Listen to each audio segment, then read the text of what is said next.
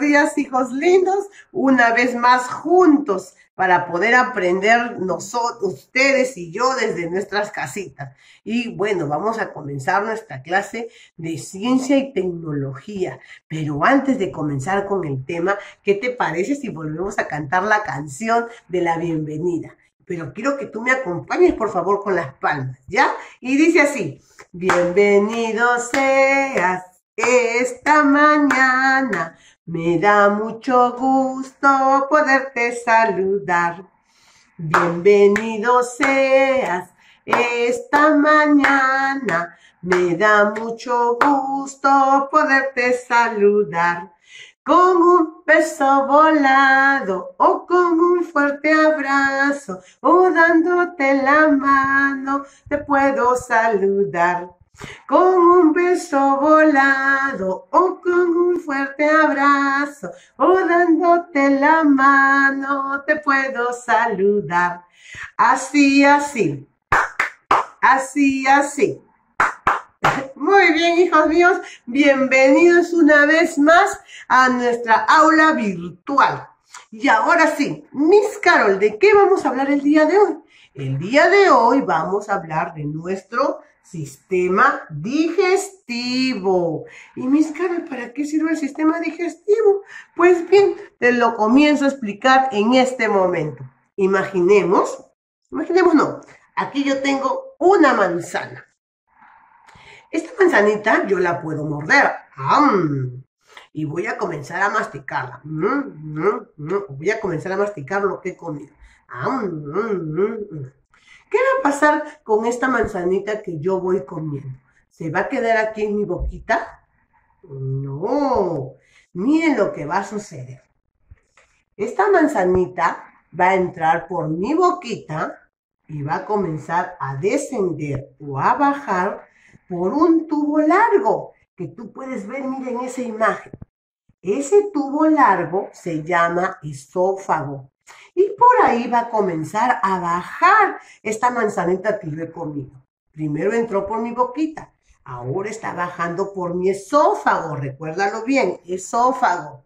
Después que llegue, baje por mi esófago, va a llegar a mi estómago. Miren, ahí vamos a encerrar en un círculo el estómago. ¿Ya? Llegó al estómago esa manzanita, llegó a mi estómago esa manzanita. ¿Qué va a pasar en el estómago? En el estómago van a salir unos líquidos ácidos y van a comenzar a disolver esa manzanita. Y ahí se acabó todo. No, eso, esa manzanita que ha sido disuelta por los líquidos que, han, que nuestro estómago ha botado, va a comenzar a pasar por esas cositas que ustedes ven aquí, que se llaman intestinos. Tenemos dos intestinos en nuestra pancita, en nuestra barriguita. Se llama intestino delgado e, e, intestino grueso. ¿Ya? En el intestino delgado, ¿qué va a pasar con la manzana que yo he comido? Esa manzanita, ustedes saben que la manzana es un alimento nutritivo.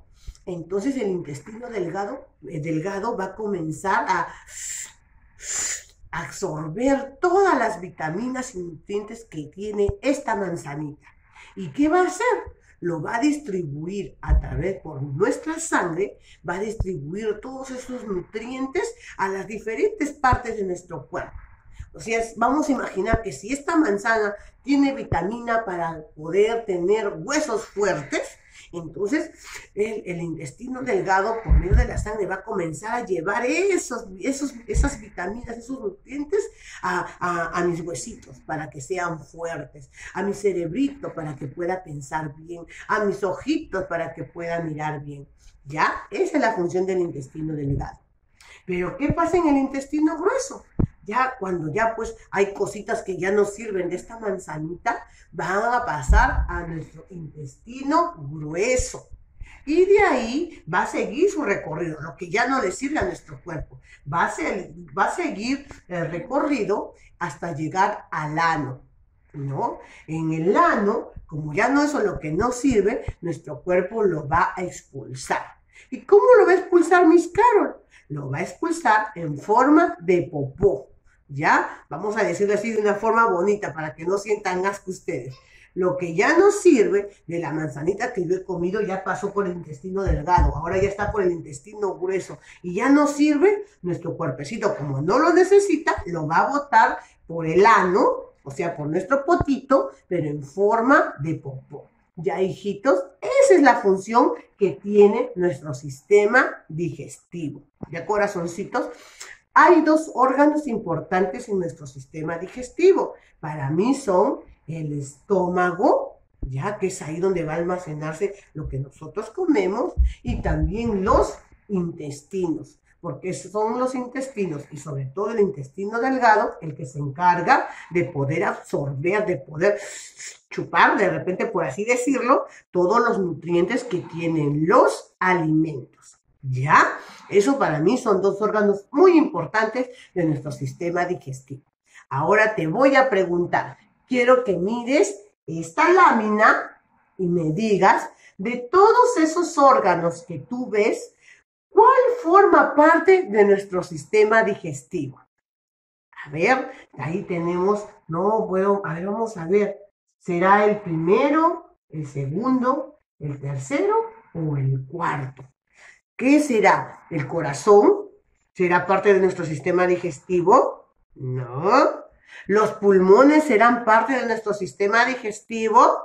No, porque yo no te, he mostrado esas figuras.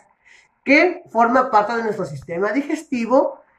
Cuento hasta tres y tú no tienes que decir. ¿Qué te parece? Uno, mira, mira, mira. Dos y Tres. Si respondiste estómago, felicitaciones, porque muy bien, el estómago forma parte de nuestro sistema digestivo, casi digo respiratorio, yo me iba a equivocar. Entonces, es el estómago, de esta lámina es el estómago, la que forma, es el órgano que forma parte de nuestro sistema digestivo. Pero, ¿qué pasa, Miss Carol? Entonces, cuando me duele la barriguita, es porque tu sistema digestivo se ha enfermado. ¿Y por qué sucede eso, Miss Carol? Porque de repente has agarrado una fruta o un alimento con las manos sucias. O porque tal vez esta manzanita no estaba bien lavada. Entonces, ¿qué significa? Que cuando, si tú no te quieres enfermar de tu sistema digestivo, tienes que lavarte muy bien las manos y tienes que lavar muy bien las frutas y verduras que, que vas a consumir. ¿Ya, corazón? Y para nuestro sistema digestivo, ¿qué será bueno? Aparte, claro, de lavarse las manos y lavar las frutas. ¿Qué debe ser? ¿Qué alimentos, ¿Qué alimentos nosotros debemos consumir para tener nuestro sistema digestivo en un normal funcionamiento? Tenemos aquí, mira, las frutas y las verduras. ¿Ya? Eso te van a hacer muy bien, le van a hacer muy bien a tu sistema digestivo. Pero ¿qué pasa si en lugar de comer frutas y verduras, comemos esto de aquí? Mmm, rico, ¿no? Rico el heladito, los dulcecitos, las hamburguesas, es rico. Pero todas esas cosas que nosotros llamamos comida chatarra, le pueden hacer daño a tu sistema digestivo y te puede comenzar a doler la barriguita. Si vas a comer esta, o alguna de estas comidas, solamente come uno y poquito para que no le haga, no le haga daño a tu sistema digestivo. Ya mi corazoncito, terminando de hablar yo, te voy a poner un video y quiero que lo veas junto con tu mamita y con tu papito para que puedas entender mejor la función de nuestro sistema digestivo. Para terminar nuestra pequeña clase, ¿qué tenemos que hacer en nuestro cuaderno? Mira, tengo acá mi sistema digestivo. Acá hay unas indicaciones que le estoy dando a la mamita y al papito para que te ayude a resolver esta hojita. ¿Ya corazón? Entonces, y después de que has hecho eso, lo pintas muy bonito. ¿Ya? Acá está nuestro sistema digestivo, nuestra boca, nuestro esófago, nuestro estómago, nuestros intestinos y por último el ano. A ver, vamos a ver qué dice acá la indicación, vamos a leer y lo vamos a hacer. Y la segunda tareita, a ver, a ver, a ver. Ah, mira, qué interesante. Te dice acá Pinta los alimentos que sean buenos para tu sistema digestivo, lo que les acabo de explicar. Vas a mirar aquí qué alimentos van a, van a ser buenos para tu sistema digestivo y los vas a colorear muy bonito. Recuerda hacerlo despacito para que no te salgas de la línea. ¿Ya, hijito lindo? Entonces, espero que te haya gustado la clase y no te olvides de mirar el videito que te voy a poner también para que puedas aprender muchísimo más. Conmigo será hasta el día de mañana. Nos estamos viendo. Un fuerte abrazo para todos ustedes. Chao.